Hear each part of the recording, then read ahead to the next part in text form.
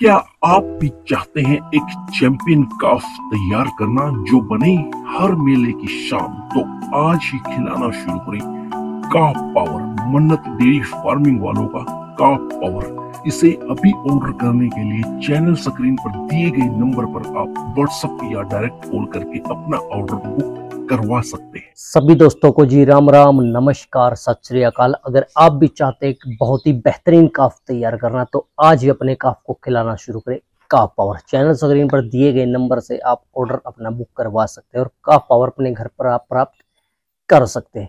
तो मैं कृष्ण मलिक मन्नत डेयरी फ़ार्मिंग चैनल के माध्यम से आज आप सभी पशुपालक भाइयों के साथ एक और बहुत ही अच्छा घरेलू कह लीजिए या देसी कह लीजिए फार्मूला शेयर करने जा रहा हूँ।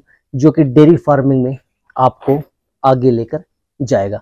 तो सभी भाइयों से रिक्वेस्ट है, सबसे पहले तो वीडियो को कंप्लीट अवश्य देखें और साथ के साथ वीडियो को शेयर ज़रूर कर दिया करें, क्योंकि शेयर करने से और भी किसी पशुपालक भाई की आप हेल्प कर सकते हैं। और अगर चैनल को सब्सक्राइब तक नहीं किया है, जो नए सब्सक्राइबर, नए व्यूवर्स पहली बार वीडियो देख रहे हैं, वो चैनल को अवश्य सब्सक्राइब कर ले।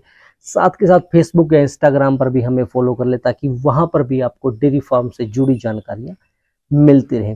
तो आज की वीडियो में मैं आपके साथ शेयर करने वाला हूँ बड़े अडर को लेकर एक बहुत ही अच्छा लाजवाब और आजमाया हुआ घरेलू नुकता।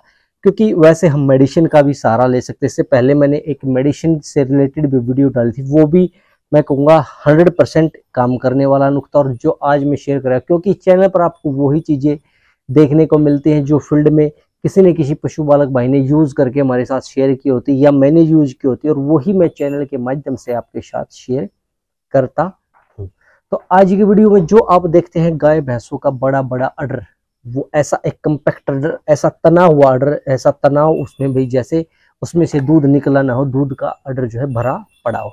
तो ऐसा अडर आप अपनी गाय भैंस का कैसे तैयार कर सकते इसके लिए मैं आपको एक फॉर्मुलेशन बताने वाला हूँ। तो सभी भाइयों से रिक्वेस्ट है वीडियो कंप्लीट देखें स्किप ना देख, करके देखें, ताकि कुछ मिसिंग रह जाए और फिर आपको उस चीज़ का बेनिफिट ना मिले। तो आपको करना क्या है? सबसे पहले आपको तीन चीज़ें ले लेनी है।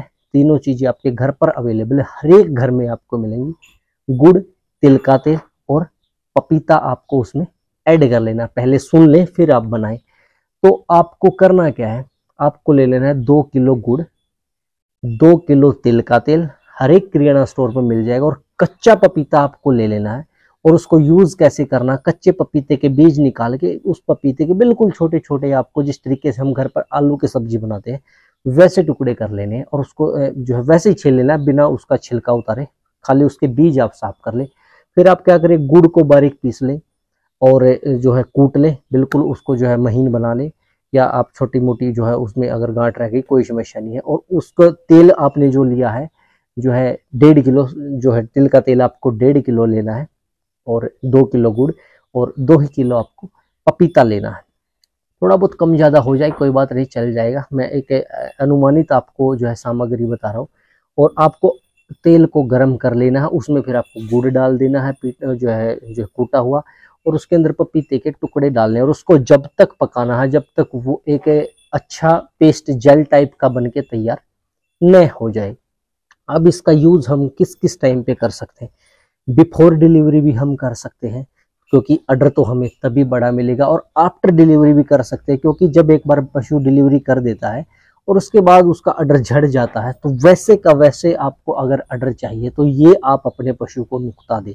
तो जो आपने दो किलो गुड़, डेढ़ किलो तिल का तेल और दो किलो आपने पपीता की जो सामग्री तैयार की, ये देनी किस प्रकार से? दिन में दो बार आपको देनी है। एक तो आप शाम के वक्त दे दें जब पशु को आप दाना चारा खिला रहे हैं और उसके डेढ़, दो से तीन घंटे तक पशु को पानी नहीं पिलाएँ, या आप जब आप पशु को शाम को पानी वगैरह पिला दें और तब दे सकते हैं, फिर रात को पशु उसको अच्छे तरीके से डाइजेस्ट कर लेगा। वैसे ही आपको सवेरे देनी है। दिन में जो मैंने पूरी सामग्री बताई है, ये दो टाइम की है और इसको रूटीनल आपको या तो एक दिन छोड़ के एक दिन यूज़ कर सकते हैं, या महीने में अगर आप चाहें तो पंद्रह दिन लगातार इसको यूज़ कर सकते हैं। इसके साथ आपको दो चीज़ें और ऐड कर लेनी वो भी मैं आपको बताऊँ। क्योंकि अगर आप पशु को कुछ हैवी फ़ूड दे रहे तो हो सकता है आपका पशु ऑफ़ फ़ीड हो जाए तो आपको एक तो लीवर के लिए कोई भी टोनिक आप मार्केट से ले आए, वो अपने पशु को दे। दूसरा, आप यीस्ट कल्चर ले आए, जिसको यीस्ट जो है लाइविस्ट पाउडर भी हम कह सकते हैं, वो आप अपने पशु को जितनी डोज 50 ग्राम 100 ग्राम की 2 ग्राम की डेली की होती है, वो खिलाते रहे और जो है जो है, लीवर टोनिक आप अपने पशु को देते रहे। तो ये तो होगी जो है, ब्याने के बाद की। इससे आपका पशु का क्या हुआ? है तो जो जो आपकी लेवटी है, अडर है, लेवा है, वो तना हुआ रहेगा हरदम। दूध निकालने के बाद भी जब आप पशु को, आपके पशु को कोई देखेगा तो ग्राहक अट्रैक्ट होगा इस चीज़ से। और जो आपके, इससे क्या होगा, पशु का दूध भी डे बाई आपने अगर शाम को दिया तो मॉर्निंग में आपको दूध का फ़र्क दिख जाएगा। और अगर इवनिंग से स्टार्ट कर रहे हैं तो मॉर्निंग में आपको दूध का फ़र्क दिख जाएगा। अगले ही टाइम आपको दूध में पूरा फ़र्क इसका दिख जाएगा। और ऐसे ही अगर ब्याने से पहले स्टार्ट कर रहे हैं तो ये पूरी आप जो है डोज, इसमें से हाफ़ डोज आप तैयार कर लें और उस हाफ़ डोज को जो है एक ही टाइम दिन में जो एक किलो की डोज मैंने बताई है, या आप टोटल कॉस्ट जो है आधा किलो कर सकते हैं और वो एक बार अपने पशु को ब्याने से पहले आप देते रहें, बड़ा लाजवाब रिज़ल्ट इसका जो है आपको मिलेगा। तो ये थी एक छोटी सी जानकारी और इसके साथ साथ आप, आप जो भी फिडेशन पशु को दे रहे हो वो देते रहे। फ़ीड अपनी जगह पे है और नुक्ता अपनी जगह पर है। बड़ा लाजवाब है आजमाया हुआ है। बड़ा बेहतरीन रिज़ल्ट आपको देगा। तो इस वीडियो को शेयर अवश्य करें और यूज़ करके हमें बताएँ भी भी कितना बेनिफिट आपको मिला है। क्योंकि जहाँ पर भी हमने जो चीज़ यूज़ की हमें उसका शत प्रतिशत हमेशा मिलता है।